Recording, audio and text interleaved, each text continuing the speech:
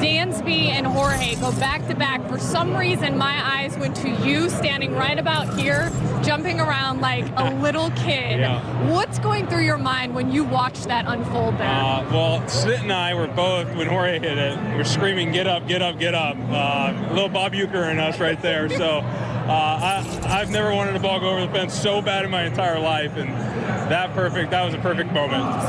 You also got, I, talking this whole postseason about, you know, the next man up. Yeah. And tonight you got four and two thirds of one run ball from Kyle Wright, who last pitched with you guys in June. Yeah. And tonight, along with your night shift, who held everyone scoreless once again.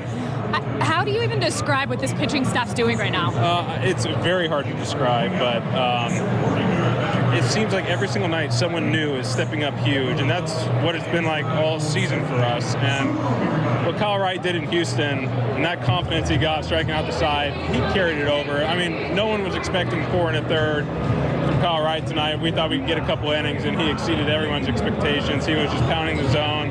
It was unbelievable to see him go to work tonight. Do you think it's because you went in and fist bumped him and told him? I don't know. I don't think so. I think I think that man got some confidence in Houston. I mean, if you wanted to take credit no, I'm not. I will never take credit. Uh, that was just an amazing performance by him. Last but not least, one win away from the World Series. What's going on in your head I right now? I really don't have any words. I think my face says it all. So let's let's get it done in front of our fans tomorrow. Sounds great. Enjoy this one, Freddie. Thank Kelly, you. Appreciate it.